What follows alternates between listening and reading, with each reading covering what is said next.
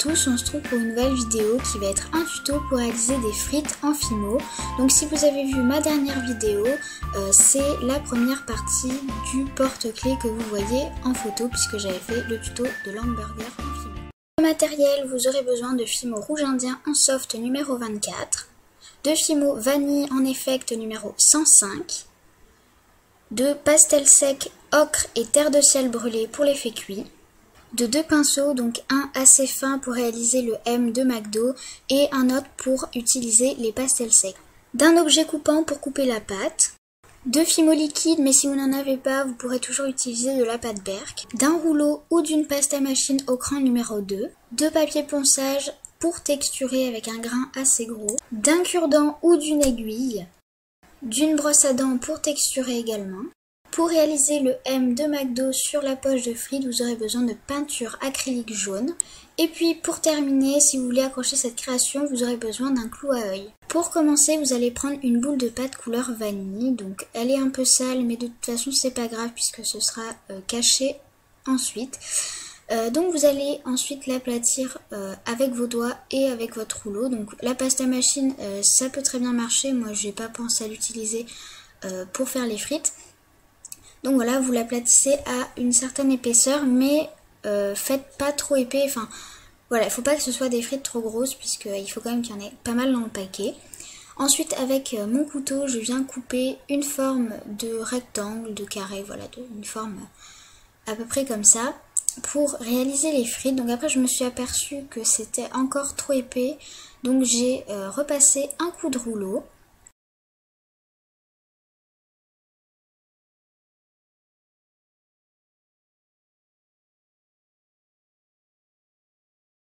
Et ensuite j'ai refait le processus, donc j'ai pris mon couteau et j'ai recoupé un rectangle. Et ensuite dans ce rectangle on va venir y couper des lamelles euh, de taille à peu près identique.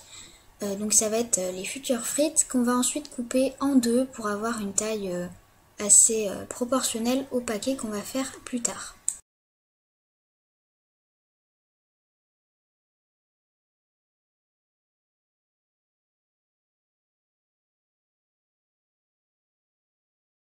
Ensuite, on va venir euh, prendre nos frites et les déposer sur le papier, euh, ponçage. Donc c'est pour les texturer en fait. Donc après, on va venir prendre euh, la brosse à dents et on va venir tapoter dessus. Donc vraiment partout sur la frite, sur les côtés, derrière, devant, vraiment partout. Donc le fait de mettre du papier ponçage dessous, ça va être de ne pas effacer euh, la texture sur le plan de travail, puisque s'il est lisse, bah forcément ça va euh, relisser la frite. Donc voilà, on fait vraiment euh, partout partout pour avoir cet effet de frite réaliste.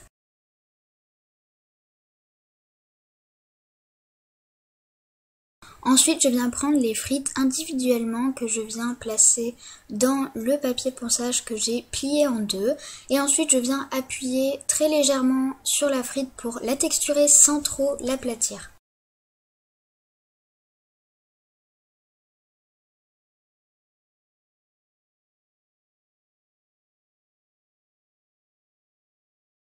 Passons maintenant à l'effet cuit. Donc on va commencer par la couleur la plus claire qui va être ocre et on va venir à l'aide du pinceau en appliquer partout sur les frites.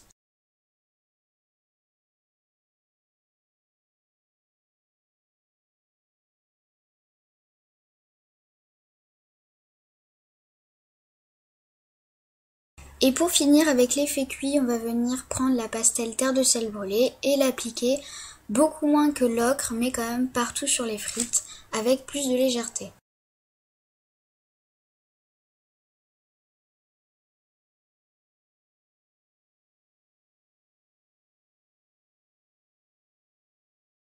Donc voilà, maintenant les frites sont terminées, on va pouvoir passer à l'emballage de frites McDo.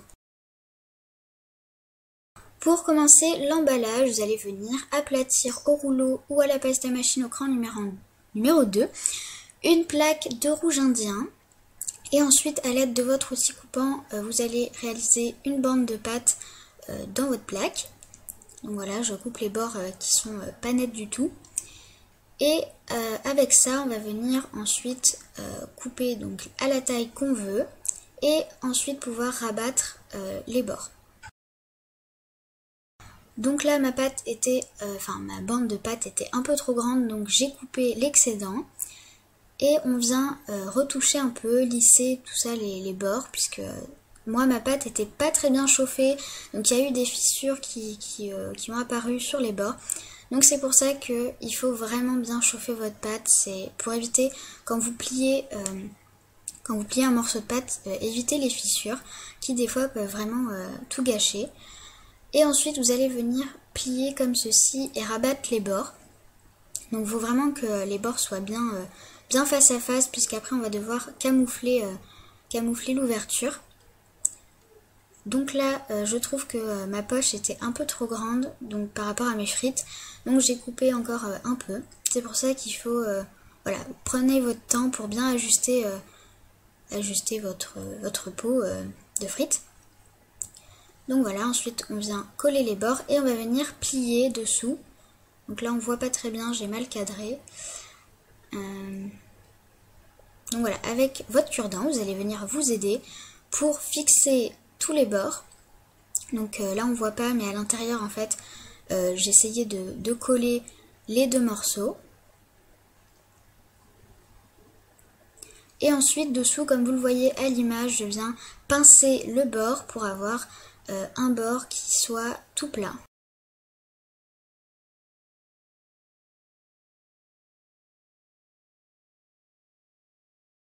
Ensuite, à l'aide du cure-dent, je continue à faire des petites retouches. J'essaye de cacher les fissures qui grossissent un peu et euh, j'essaye de camoufler en roulant euh, avec un dotting, c'est très bien aussi.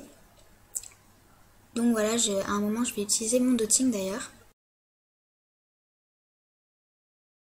Et euh, vous essayez vraiment de, de bien camoufler l'intérieur et l'extérieur, surtout l'extérieur, c'est très important.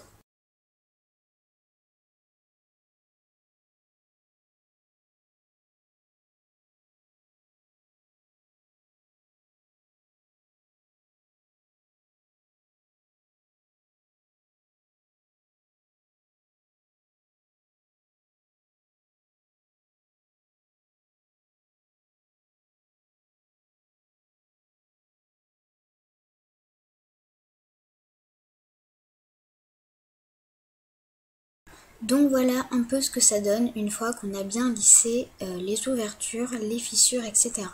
Et pour finir le paquet de frites, on va venir euh, lisser le dessous. Donc pareil, c'est exactement la même technique. Avec votre doigt, vous allez venir frotter jusqu'à ce qu'il n'y ait plus de traces.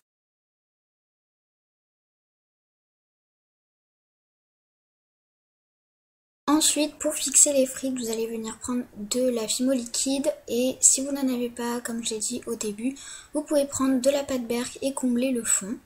Donc euh, la fimo liquide va permettre euh, de fixer les frites au fond puisque sinon euh, elles ne tiendront pas toutes seules. Et ensuite vous venez prendre les frites une par une et les déposer dedans. Donc j'ai fait une petite erreur, c'est que mes frites sont un peu trop petite, j'aurais dû tester euh, avant. Euh, n'oubliez pas, euh, pendant que vous faites votre paquet, d'essayer de voir si les frites sont de la bonne taille. donc le mieux dans ces cas-là, c'est de faire le paquet avant les frites et ensuite de faire les frites suivant la taille du paquet.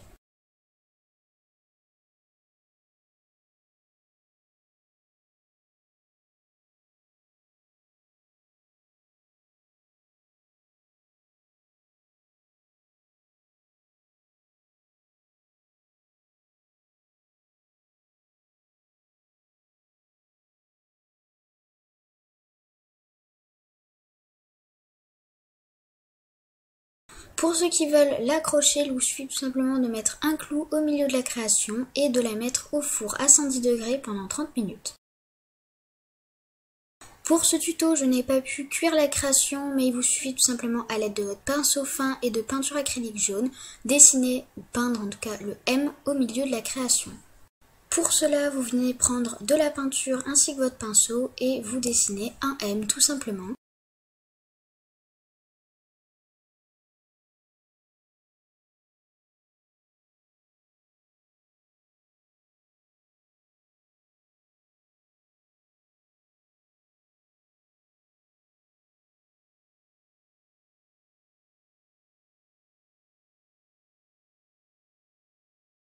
Une fois terminé, vous n'avez plus qu'à vernir le paquet de frites et non les frites puisque elles ne doivent pas briller. Et votre création sera terminée. Donc j'espère que cette vidéo vous aura plu et on se retrouve pour une prochaine vidéo. Bye tout le monde